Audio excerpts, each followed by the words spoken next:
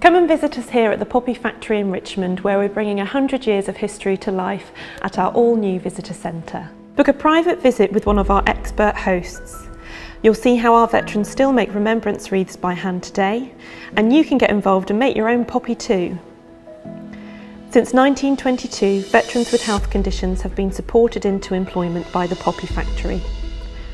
Our charity was established by Major George Howson his vision was to employ soldiers who had been wounded and disabled during the First World War to make remembrance poppies. Within a few years, hundreds of veterans came to work at our factory producing remembrance products for the Royal British Legion. By 1928, over 270 veterans of all ages were working at the factory in Richmond, and flats were built on the estate for the workers and their families. Machines like this vein press were adapted for all workers to be able to operate, a pattern of veins was pressed into the fabric petals to make them look more realistic. Men would cut the poppy petals from silk and cotton. Broom bristles were cut to size and the ends were dipped in sawdust to create the stamens. Wreaths were traditionally made using dried foliage and silk poppies.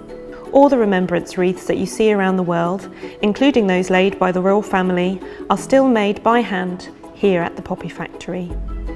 Throughout our history, we have continued to build a supportive environment for veterans with physical and mental health conditions, developing a strong understanding of the complex challenges that they may face.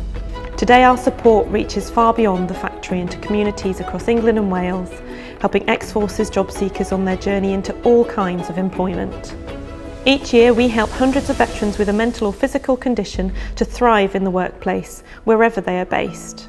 By booking tickets to visit the Poppy Factory, you can support the Armed Forces community and help transform veterans' lives.